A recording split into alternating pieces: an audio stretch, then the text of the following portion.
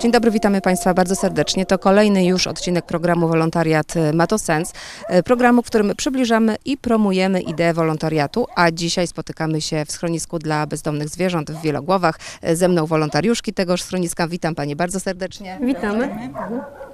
Zawsze tutaj tak dużo wolontariuszek jak dziś? Oj tak, na okres letni właśnie najwięcej ludzi się zbiera, ale to dobrze, bo przynajmniej pieski powychodzą na dłuższe spacery, więcej czasu będą mogły z ludźmi spędzić, a w schronisku jednak to im jest najbardziej potrzebne. Proszę powiedzieć, e, może każda z Pań e, tak po kolei, jak zaczęła się właśnie przygoda z wolontariatem tutaj w tym schronisku? E, Przypadkiem po prostu e, nie wiedziałam, e, brakowało w Sączu takiego miejsca, zaczęłam się dowiadywać, czy coś takiego jest, bo jestem z Nowego Sącza, nie jestem tutaj z terenu Wielogów Chełmca. No i pocztą pantoflową dowiedziałam się, że jest taki tutaj schronisko, przyjechałyśmy z siostrą z kocami, z kołdrami, no i tak się zaszczepiłyśmy i zostałyśmy tu już parę lat, no i tak, tak to wygląda. I tak się zaczęło, tak? Tak, ja nie jestem z Sącza, ale jak przyjechałam, to szukałam po prostu schroniska, bo zawsze pomagałam zwierzętom i no i znalazłam i zostałam wolontariuszką. Znalazła Pani też przyjaciela, bo to jest psiak ze schroniska. Tak, to jest psiak ze schroniska, ale mam jeszcze jedną suczkę też z wielogłów. Także. To u mnie zaczęło się tak, że mój piesek zaginął i po prostu jeździłam po schroniskach szukając go. Pierwsze schronisko, do którego trafiłam było tutaj w Wielogłowach i w momencie, kiedy przyszłam i zobaczyłam na te kojce, po prostu się zakochałam. Zakochałam się w tych psiakach, zobaczyłam to, jak one pragną miłości, jak one chcą do człowieka. No i stwierdziłam, no to jest to miejsce, chcę tutaj przychodzić, chcę tutaj działać. Pani też miłość e, do, do zwierzaków tutaj przygnała? Do zwierząt tak, chociaż swoich mam sporo, bo wtedy miałam cztery. E, piąty przyszedł właśnie ze schroniska, ale tak naprawdę to miałam już doświadczenie z wolontariatem, akurat prowadziłam wtedy wolontariat seniorski. Jedna z moich podopiecznych, e, która straciła męża, bardzo chciała e, mieć psa. No i dlatego z koleżanką, która jest tu wolontariuszem i razem studiowałyśmy, przyprowadziłam tą moją podopieczną. E, Wprawdzie psa nie wzięła, ale mój mąż się zachwycił schroniskiem, bo też stwierdził, że on to musi, musi przyjechać. Pierwsze spotkanie nie wiem, czy było takie bardzo udane nasze z psem, bo to był taki Benio, potężny, wielki wilczur, który mnie tutaj poprzeciągał tak, że przez e, rok leczyłam rękę, ale, ale zostaliśmy, jesteśmy już piąty rok chyba. Czyli nie, nie zraziła Pani ta sytuacja? Nie, nie, nie, nie. I teraz mam też dwa psy były ze schroniska z Wielogów, dwa są moje z innych miejsc. Także mam sch- schronisko w domu, czasami większe jak tutaj. A Pani? E, Ja trafiłam poprzez kolegę z pracy, e, który zaczął chodzić e, tutaj na wolontariat. No i tak się skończyło, że ja też zaczęłam chodzić kilka lat temu, to już ponad 3 lata, ostatnio liczyłam.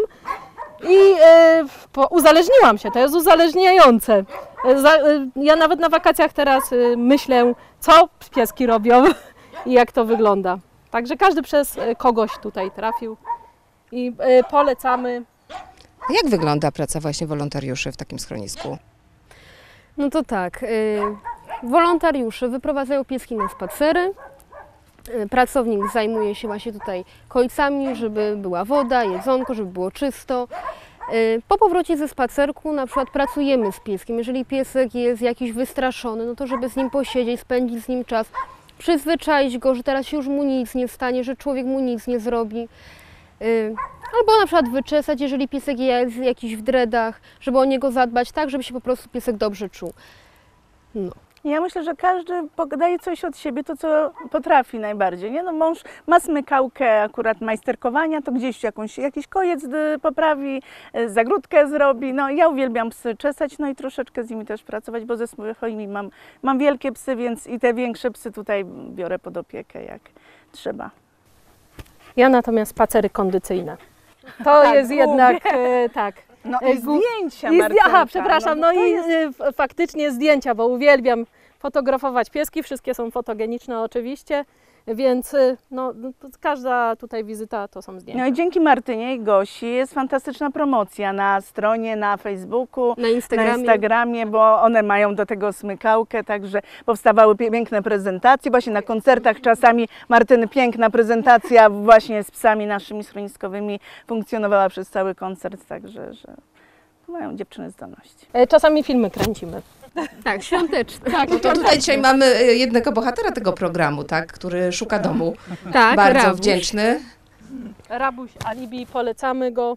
E, Rabuś młodziutki pies, półtora roczny, zachowuje czystość, ładnie chodzi na spacerkach. I ma jeszcze dwóch braci. Tak. Też, którzy szukają domku. Bardzo przyjazny, bardzo kochany piesek.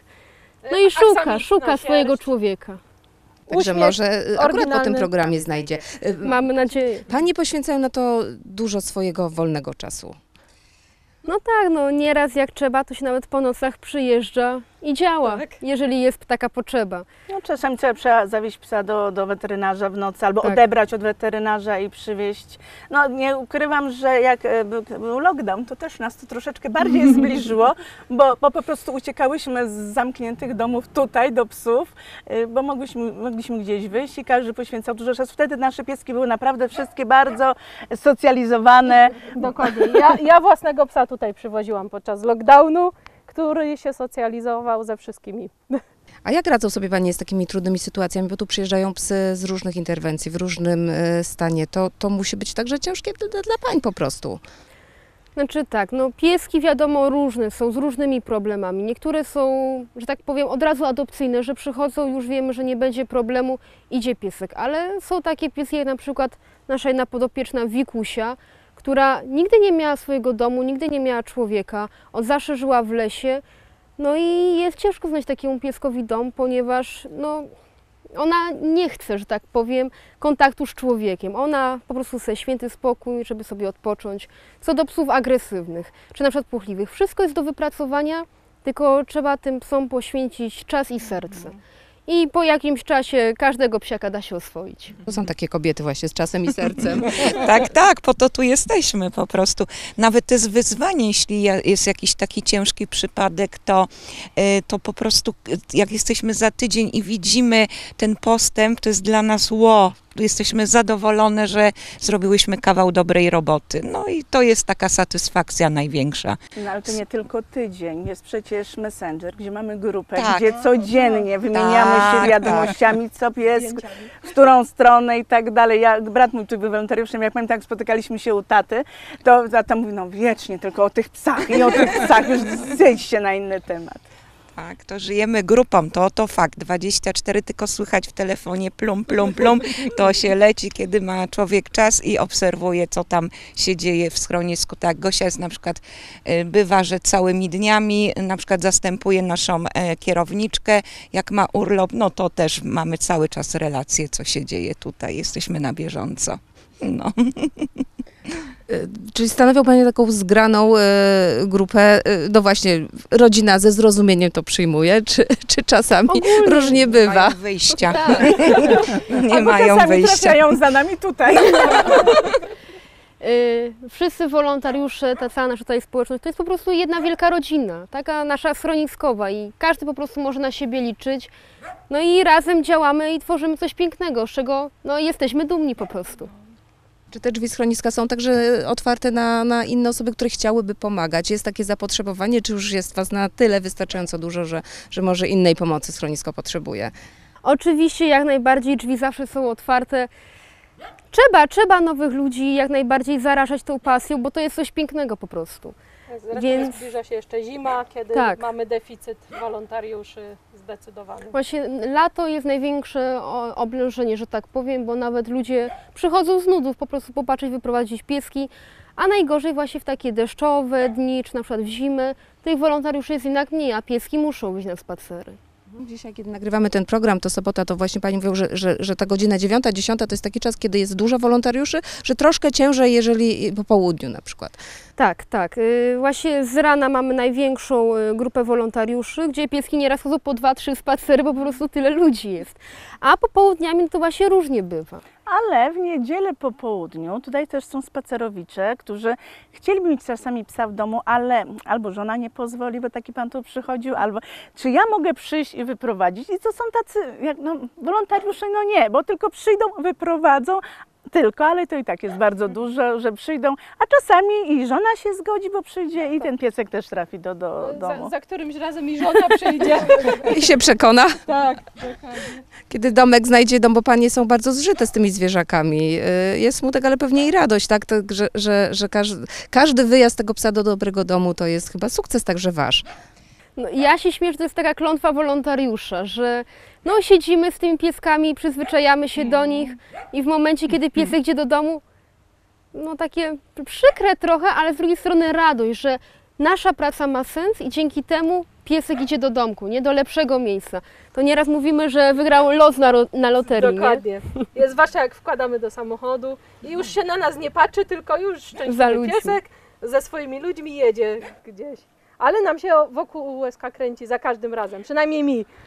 Ale mamy z nimi kontakty. Tak. Kojot był taki piesek bardzo To tak. trudny, wrok pra- To wie- on, Tak, to jest kojocik.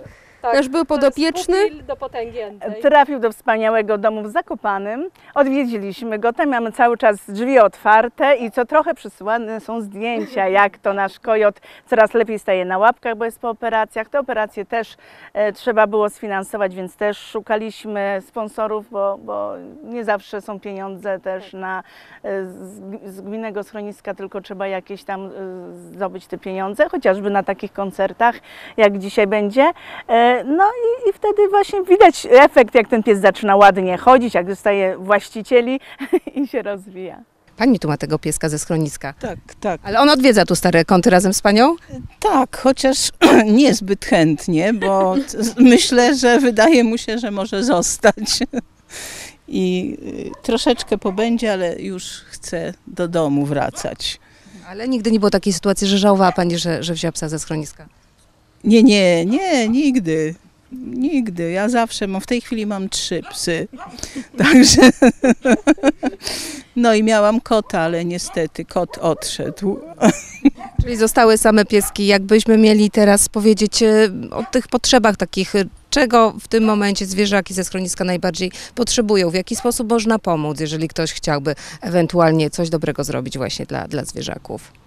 Miłości, przede wszystkim miłości, żeby po prostu ktoś z nimi posiedział, pogłaskał, pogadał po prostu do tych psiaków. Tego im najbardziej brakuje, po prostu swojego człowieka.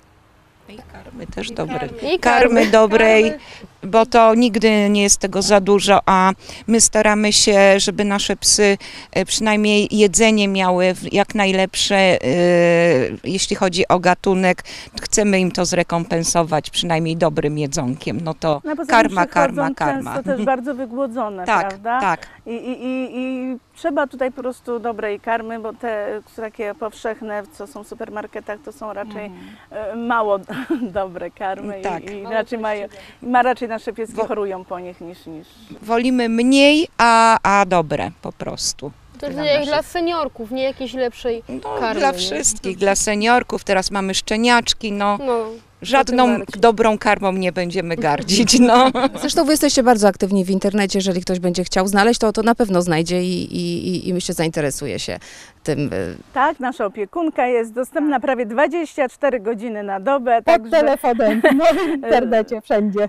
że y, reaguje na wszelkie krzywdy psów na teren, naszym terenie, na terenie y, gminy Chełmiec e, i y, nas też do tego namawia i angażuje i zachęca, także jesteśmy dla niej, mam nadzieję, wsparciem. Co, Gosia?